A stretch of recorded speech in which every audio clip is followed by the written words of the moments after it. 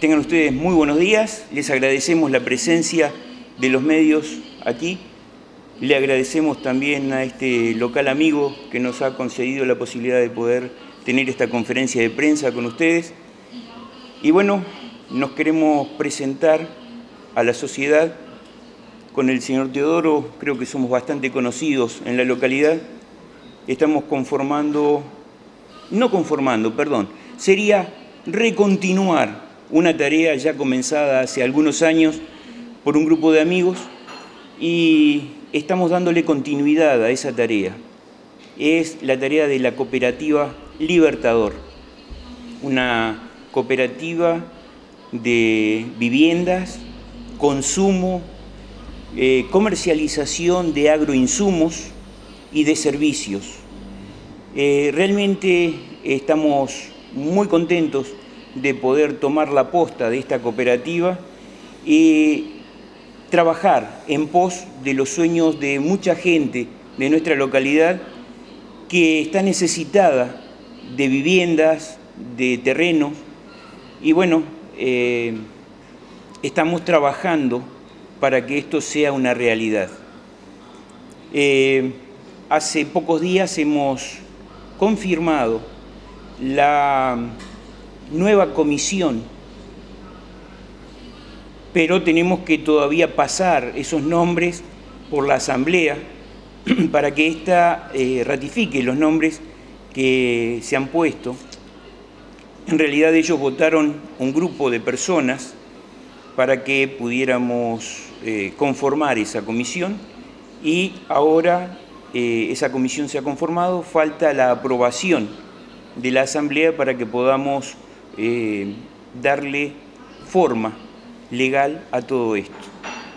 Eh, con el señor Teodoro hemos estado trabajando arduamente esta semana, haciendo algunos viajes y contactos, tanto en nuestra localidad como en localidades vecinas, eh, Diamante, Crespo, Paraná, donde hemos estado en contacto con algunas autoridades, y con gente que va a llevar parte de eh, lo que es el trabajo de nuestra cooperativa. Así que eh, nos reconforta saber de que hay gente que ha confiado en nosotros y esperamos trabajar en pos de esa gente. Eh, Teodoro nos va a ir dando algunos datos importantes porque una cooperativa no se conforma de un grupo de gente solamente o de un grupo de voluntades. También tiene su marco legal, su marco contable, y es muy importante que lo sepamos. Nuestra cooperativa, como les decía al comienzo, es una continuidad, es decir, no estamos iniciando nada, estamos trabajando ya sobre seguro, sobre números y bases concretas. Así que le voy a dejar unos minutos a él para que él pueda mencionar estos datos y luego les vamos a ir dando eh, algunos datos sobre la comisión que se conformó. Bien, eh, la cooperativa de viviendas, crédito, consumo y de comercialización de productos agropecuarios, Libertador Limitada, y con una ampliación de una carpeta de que se hizo luego, de una cooperativa de servicios que se agregó, y esto ya está conformado, digamos, a nivel provincial, a nivel nacional. Eh, a los que les interesan los números, les voy a dar los números, por ejemplo, la Administración Federal de Ingresos Públicos, la DGI, eh, nos autorizó con el número de quit número 30 barra 70, 78, 77, 65 barra 7, quiere decir que estamos en perfectas condiciones legales de poder funcionar.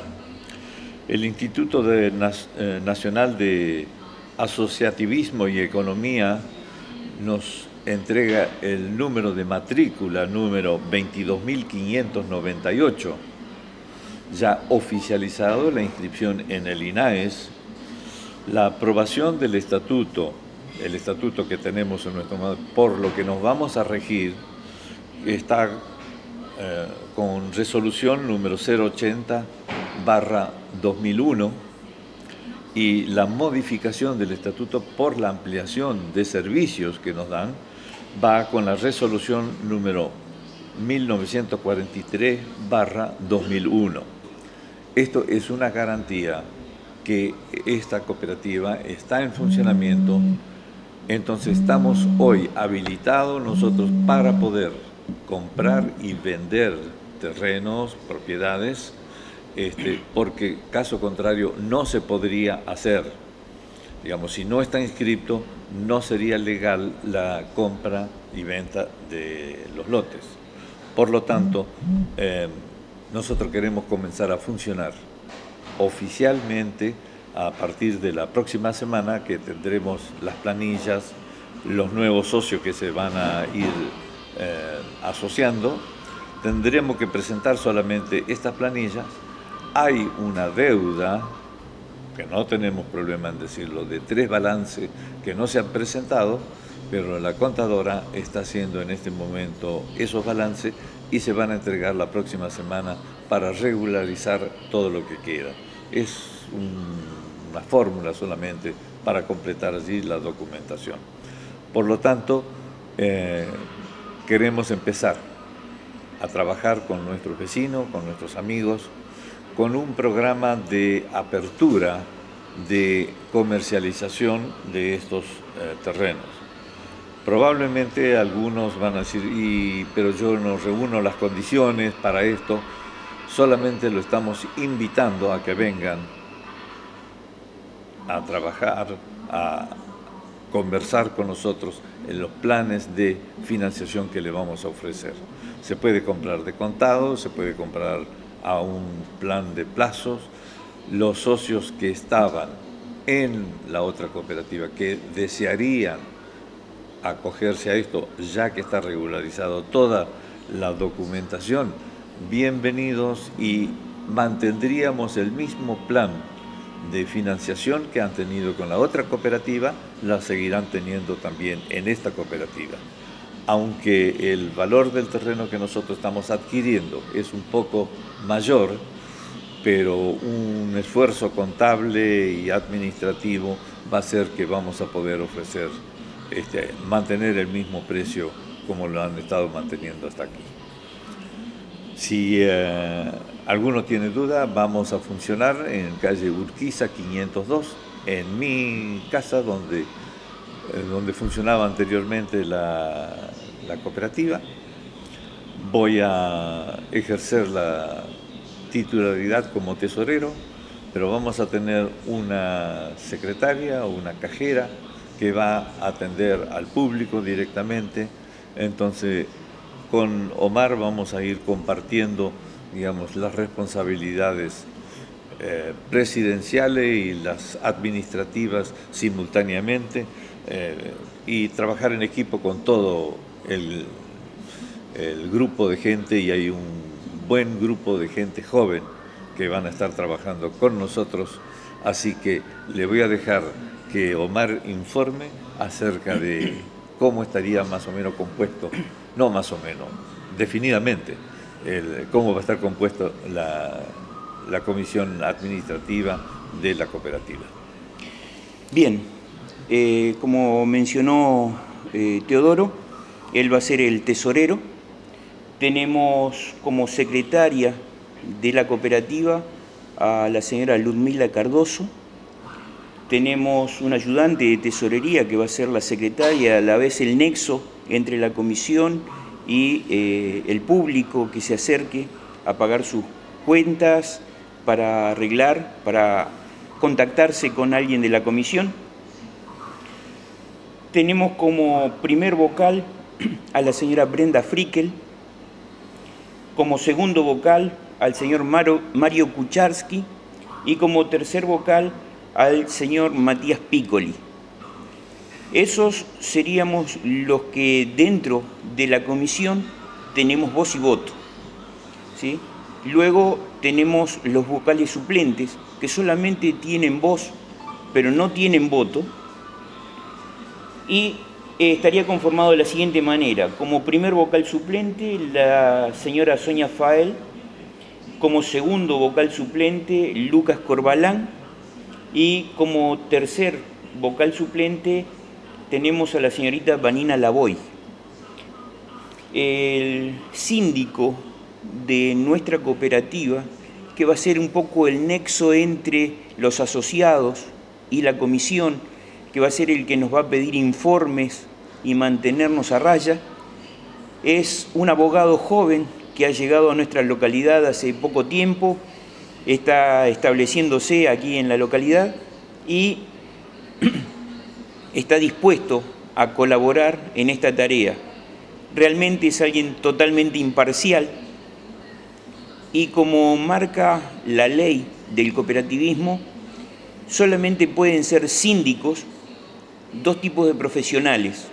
Uno es contador y el otro puede ser un abogado. En este caso estamos eligiendo la parte del abogado y eh, por informes que tenemos, si algo funcionara mal, el contador podría, si, hubiera, si se hubiera incurrido en algún error dentro de la parte contable, el contador síndico podría eh, quedar detenido. En cambio, un síndico abogado no quedaría detenido, pero sí tendría algunos problemas con su matrícula.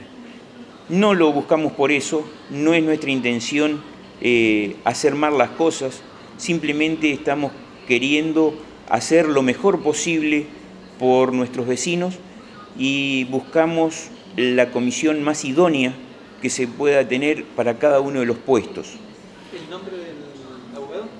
Maximiliano Juárez, ¿sí? hombre joven de nuestra localidad ahora. Tenemos también una comisión de planeamiento y construcción o planeamiento y urbanización, podríamos llamarlo, donde está constituido por gente joven que maneja muy bien los números y maneja muy bien la parte de la construcción. Nos referimos a Jonathan Gols, a eh, Esteban Miranda y a Pablo Leis. Son los tres que conforman esta comisión. Jonathan eh, estará participando activamente dentro de la comisión, aportando eh, voz, no voto, porque es una comisión adjunta, no forma parte de la comisión total, pero sí va a estar aportando como nexo entre la planificación que hagamos este, con la administración y los cooperativistas. También tenemos la asesoría contable. La contadora de la cooperativa originalmente es la señora Estela Muñoz de Diamante y ella eh, va a continuar al frente de este cargo. Eh, hemos estado hablando con ella en el día de ayer eh, y antes de ayer también porque fuimos a hablar para ver la situación de los papeles ante la FIP y ante la DGI y bueno, eh, ella continuaría eh, en este cargo. Y tenemos nuestra asesora legal también, que va a ser eh, la señora Nadia Montes. Ella nos está asesorando ya en la parte legal, así que así estaría conformada nuestra nueva comisión, nuestra comisión administrativa, que en adelante vamos a llamar Cooperativa Libertador. Damos lugar entonces ahora a cualquier pregunta que ustedes tengan o algún interrogante que no les haya quedado claro y estamos dispuestos a, dentro de nuestras posibilidades, brindarles esa información. Eh, ¿Por dónde pasa el tema de la continuidad de, esta, cooperativa? Es decir, ustedes dicen esta cooperativa desde 2001, ya por lo menos eh, en función de los datos que el señor entregó, digamos, este, ya existe. Eh, ¿Por qué se discontinuó y cómo, cómo ustedes retoman esto? Esa cooperativa existe, ya fue formada en el año 2000, fue solicitada y eh, fue autorizada, digamos, haciendo todos los trámites en el año 2002. Le llevó casi dos años para tramitar todos estos datos que yo le di, que son los oficiales. se descontinuó esto a consecuencia de que habían hecho trámites ante una institución por una compra de terrenos, pero han tenido problemas luego con las medidas del terreno que habían adquirido, eh, pero un problema con la municipalidad. Entonces muchos se desanimaron, se desalentaron, se retiraron y quedó todo en suspenso. En un momento el presidente fue a Paraná a la oficina para dar de baja esta cooperativa y el señor Chamendi, que es el director de esta área, les recomendó que no dé de baja, que en algún momento quizás le podría ser útil, que podría reactivarse. Y gracias a Dios, y pensamos que providencialmente esto, eh, tuvimos la oportunidad de contactarnos con él y eh, él nos pasó toda la información, todos los datos, toda la documentación. ¿Quién es? Él era el presidente. Romildo Trocero. Romildo Trocero. Sí. Este, él gentilmente nos llevó a poner en contacto con la, con la contadora eh, Estela Muñoz y bueno, fuimos con él a Paraná, a la oficina de, de, INAES, donde certificamos y regularizamos toda esta situación legal. ¿Dónde va a estar el terreno ubicado? Eh, el terreno va a estar ubicado paralelo al terreno que se ha adquirido que, o ha adquirido la cooperativa este, Independencia, al lado de él. Es otra de las fracciones que pertenecía al señor Miguel eh, eh, Rodríguez. Este, él nos está vendiendo esa fracción de las 19 hectáreas que correspondía a a su herencia, a su sucesión, a la sucesión de que él participaba allí.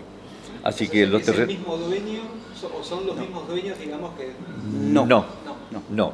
Él es uno de los herederos de eso. Estaba dividido en cuatro o cinco fracciones.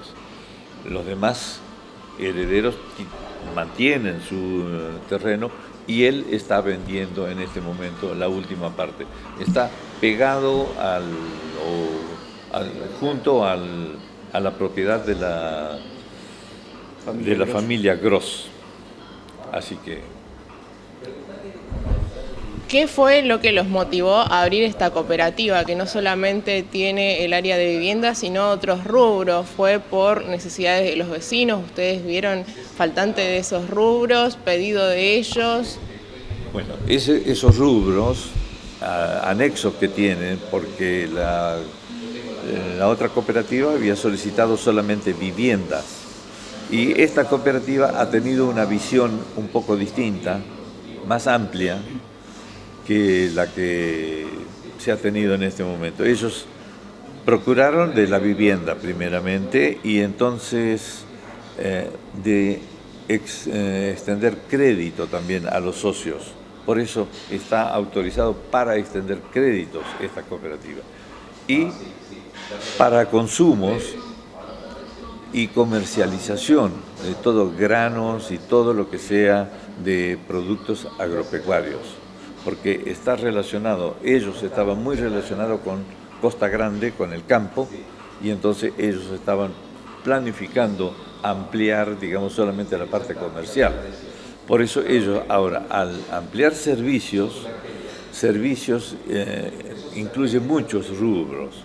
Por ejemplo, una parte eh, comercial, digamos un supermercado o venta de cualquier producto, y de los servicios e inclusive ellos estaban teniendo un servicio de eh, servicio fúnebre, aunque parezca medio chocante, pero se podían asociar. Los socios automáticamente estaban incluidos, tenían una participación para un servicio fúnebre que con la cuota social automáticamente participaban de este servicio. Y nosotros estamos planificando, sinceramente, a ver cómo podemos eh, reflotar este programa Pero esto lógicamente va a ser un poquito más adelante, no en forma inmediata. ¿Cuánto están pensando que las cuotas van a girar en, torno a cuánto dinero? Bien, eh, vamos a mantener el precio que se venía manejando cuando formábamos parte de la otra cooperativa. Es decir, vamos a mantener el valor de las acciones y eso hoy el costo de cada acción asciende a 143 pesos más o menos, más la cuota social. Para adquirir un terreno necesitamos 500 acciones. Así que eh, eso habría que multiplicar 500 por 143 y nos estaría dando el valor aproximado del terreno. Eso va a incluir todos los servicios que vamos a estar dando, es decir, luz, agua, que son los principales servicios. Eh, queremos hacer una aclaración, que eh, en esta cooperativa nosotros estamos incluyendo dentro de los servicios, además del agua y el pozo, vamos a ofrecer luz también, que en la otra, los estatutos de la otra cooperativa o en la información de la otra cooperativa, la luz no estaba incluida. Nosotros vamos a incluir la luz en parte de, los servicios que vamos a ofrecer. ¿Va a ser eh, subterránea o aérea? Subterránea. subterránea. La, idea es que podamos trabajar por una localidad libre de contaminación visual.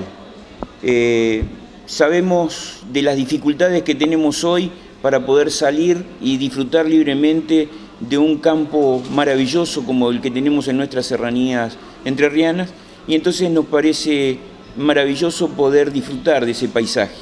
Y dado el crecimiento que vemos aquí en nuestra localidad Libertador San Martín y cómo se ha desproporcionado esa contaminación, eh, creemos conveniente mejorar eso en la localidad que queremos abrir, porque estamos abriendo una localidad, eh, queremos eh, hacerlo de una forma diferente, queremos ser distintos. Por eso estamos trabajando en pos de algo que sea hermoso este, y que sea útil y práctico. Es evidente que al estar las fracciones, este, digamos, este, vecinas, este, van a tener eh, los mismos, este, las mismas necesidades, los mismos desafíos. ¿Ustedes están dispuestos a trabajar, digamos, con la gente de la otra cooperativa para, este, digamos, este, hacer apertura de calles, digamos, cosas, obras que hay que hacer en general y que dice, bueno, este, de pronto uno puede decir, eh, nos saldría más barato hacer para las dos que para hacer para una sola, que cada uno se arregle. Digamos, ¿ustedes estarían dispuestos a trabajar con la otra cooperativa en este sentido? Definidamente, tendremos que si hay posibilidades de que accedan a dialogar y hacer juntos alguna cosa, estamos dispuestos a hacerlo. Porque lo que vamos a hacer lo vamos a hacer en beneficio de los vecinos, en beneficio del asociado que va a vivir allí. Aquí no estamos hablando ni de partidarismo ni de situaciones egoístas. Eh, cuando eh, se abrió eh, la posibilidad de tener algunas cooperativas acá. Creemos que fue el puntapié inicial y realmente encomiable de quienes llevaron adelante esa tarea.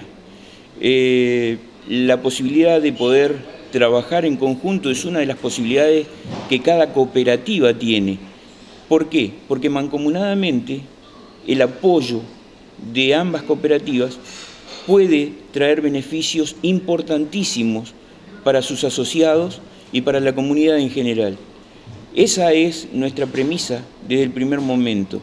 Eh, tal vez no fue bien entendida en alguna ocasión, pero nuestra función es trabajar con respeto hacia el vecino, escuchando sus necesidades, viendo sus aportes y trabajando con ellos, a la par de ellos. El que hoy estemos en una situación eh, de titularidad no nos hace ni más ni menos que el primero o el último de la lista de los asociados. Es por eso que queremos trabajar con ellos, por ellos y para ellos. ¿Por qué decidieron abrirse, presentar carta de renuncia en la cooperativa Independencia? Eh, probablemente he sido yo el que dio el puntapié inicial, porque sencillamente no compartíamos algunas eh, actitudes de algunos miembros de la comisión directiva. Sencillamente no, no voy a entrar en detalles. cada uno tenemos distintos criterios, distintos puntos de vista y he considerado mejor que no participar de ese programa que, se estaba presentando. la incompatibilidad que había eh, fue notoria en, hasta determinado momento y bueno, eh, pensamos que lo mejor, por el bien tanto personal como por la salud de eh, la otra cooperativa, eh, lo mejor era abrirnos. Es decir, no somos enemigos, simplemente compartimos criterios diferentes. Eso no nos hace enemigos. mucha gente ha considerado que estamos en contra, no estamos en contra de nadie, ni de nada, simplemente tenemos un criterio diferente.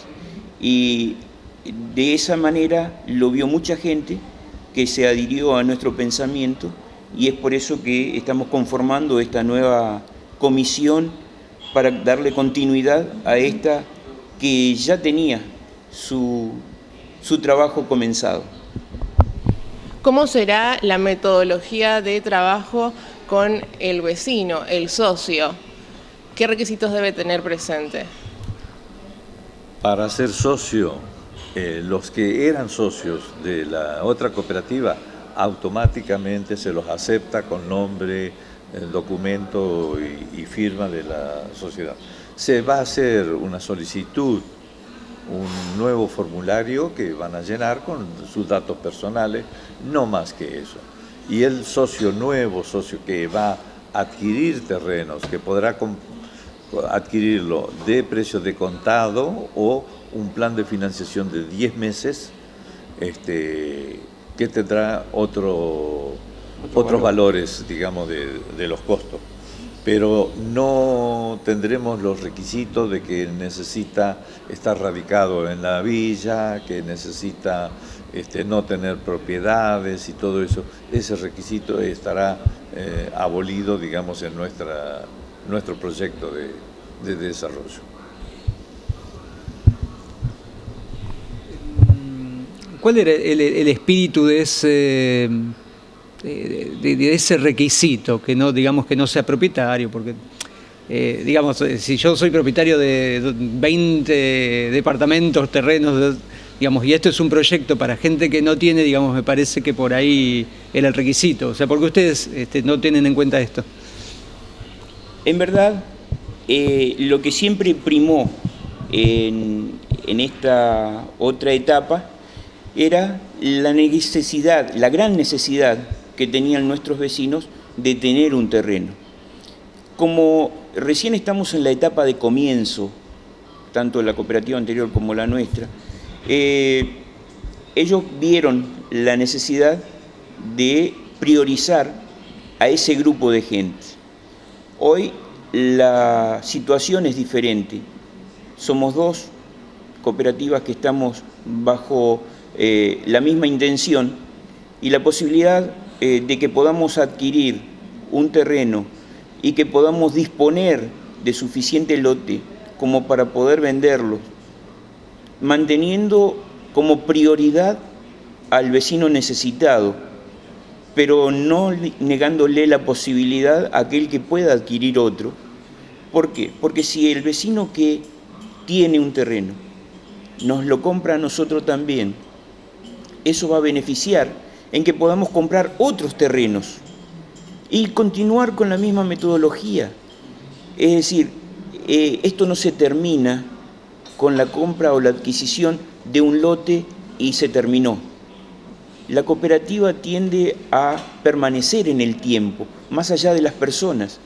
Por eso la posibilidad de que podamos adquirir diferentes lotes en diferentes lugares, por diferentes necesidades, para suplir diferentes necesidades, es lo que nos motiva a trabajar este, de esta manera. Eso es lo que nos diferencia, pero que a su vez nos une, porque la finalidad es trabajar por el vecino.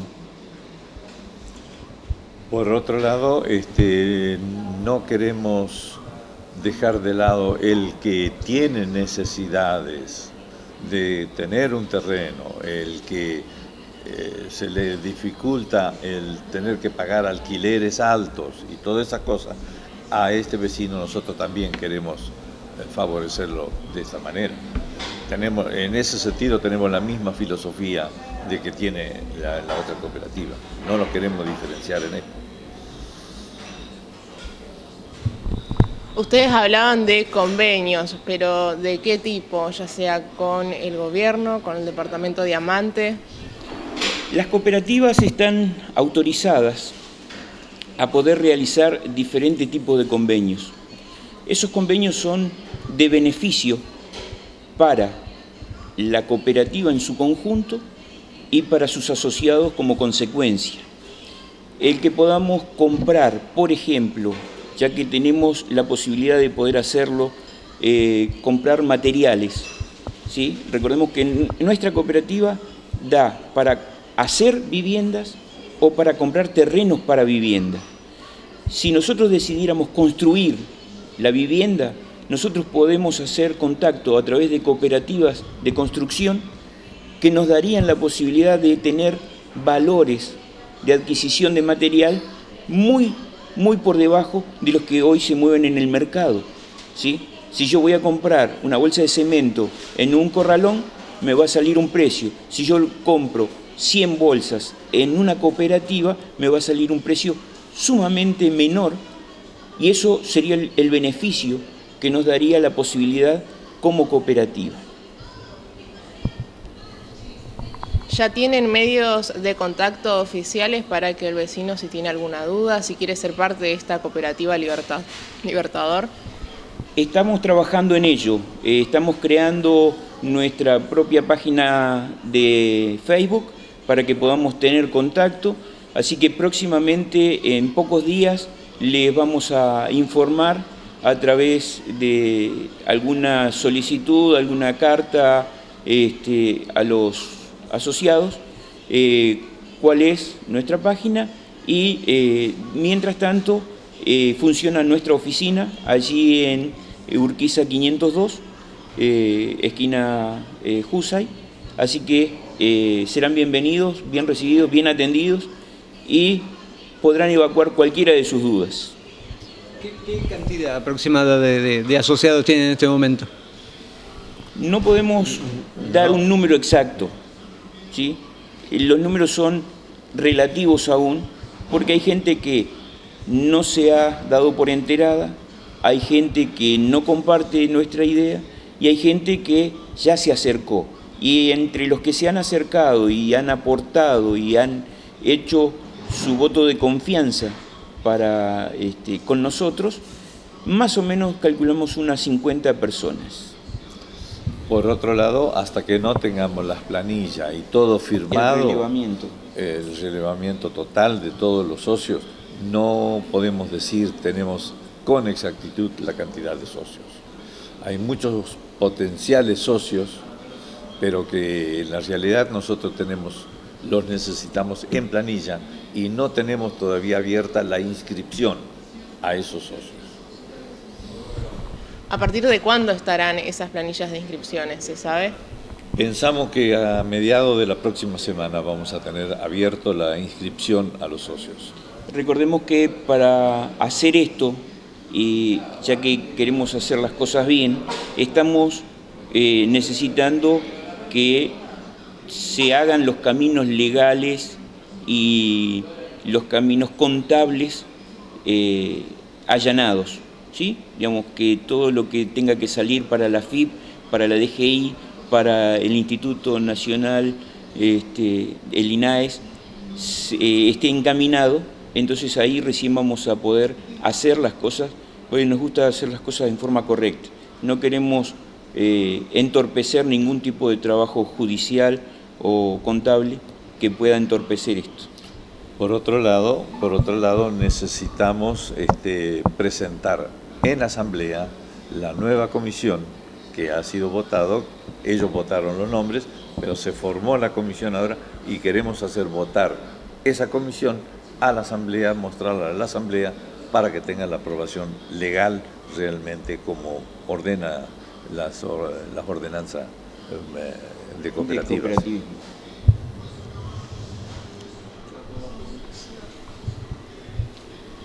agradecer entonces. Bien, si ya no hay más preguntas, entonces les agradecemos no solamente a los medios que nos están acompañando, sino a los vecinos que les hacemos un llamado, aquel que quiera acercarse, que quiera preguntar, que quiera saber, que esto le haya producido alguna inquietud, que se acerque, que nos vean. Vamos a estar dispuestos a charlar con ellos y a darle la información necesaria eh, y estamos dispuestos a trabajar juntos con y por los vecinos de nuestra localidad y aquellos que tengan más necesidades. Así que muchísimas gracias y muy buenos días. Yo no puedo dejar de agradecer también la confianza que están depositando los vecinos en nosotros, que siguen confiando en la responsabilidad que ejercemos y me pongo a disposición de todos los vecinos que me conocen ya por mi trayectoria de eh, el 60%, 80% casi de mi vida lo estoy pasando en la villa, así que ese de, eso lo hecho, lo ganado en, todo ese tiempo lo pongo a disposición de la villa. Todos los, la mayoría de las personas aquí me conocen, conocen, digamos, de lo que podemos, somos capaces de hacer con esta juventud que nos acompaña realmente en la nueva comisión es donde vamos a poder llevar adelante un proyecto bien eh, desafiante, digamos, para la juventud de hoy en día. Gracias a los vecinos, gracias a los que ya se han acercado y gracias a los muchos que se van a acercar, que confiamos plenamente y queremos servirle íntegramente. Muchas gracias y muy buenos días.